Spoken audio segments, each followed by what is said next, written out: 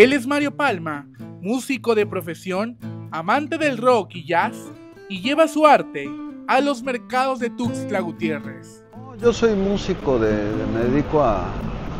De profesión estudié música también y este, estoy ahorita cursando una licenciatura en jazz y música popular y pues me dedico a tocar, tengo un grupo de rock, uno de cumbia, ando de todo, toca. Tú tocas, no sé, una canción como Imagina de John Lennon o, por ejemplo, toco Bohemian Rhapsody de Queen y la, todo el mundo la conoce. La música que interpreta este artista urbano compite con los géneros más populares del regional mexicano.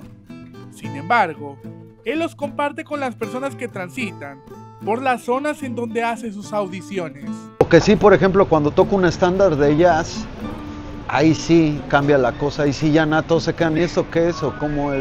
Porque ya es un género un poco más rebuscado, ¿no? En el aspecto auditivo y pues no cualquiera le gusta el jazz, ¿no? Se les puede hacer como ruido, como... Es más difícil de digerir, hay que aprender a escuchar jazz, ¿no? Y son de las cosas que, que, que culturalmente no tenemos, ¿no? Estamos más acostumbrados al, no sé, al ranchero, al, ahorita la banda, ¿no? El corrido tumbado, todo eso, ¿no? Que es el género que más se maneja, más popular de aquí, ¿no? Del área.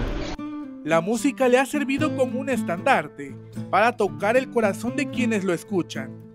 Y a pesar del poco apoyo que ha recibido este artista independiente, continúa compartiendo sus melodías favoritas. La música puedes conectar como sea con la gente, sea de otro país o de otro idioma si la, gente se siente, ¿no? Somos vibraciones y las, las vibraciones de la música pues pasa con eso, ¿no? Que te da un sentimiento, ¿no? La armonía, depende de qué armonías, las melodías tristes, cosas así. Aunque no sean en el mismo idioma. Yo, por ejemplo, ya, viste cómo toco allá puro instrumental. Y la gente conecta también con eso, ¿no? Es, es muy común.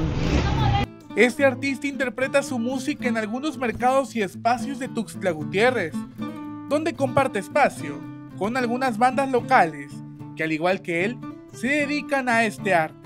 Sí, es, es, bonito, ¿no? Porque es lo que nos falta socialmente, ¿no? La sociedad, hacer lo que le falta al mundo, a la gente, a todos, hacer algo, vivir de lo que te gusta, ¿no? No es, no es muy agradable, de por sí es difícil la vida como para que te ates a trabajos que no, pues, no te van a hacer feliz, ¿no? Para Alerta Chiapas, Eric.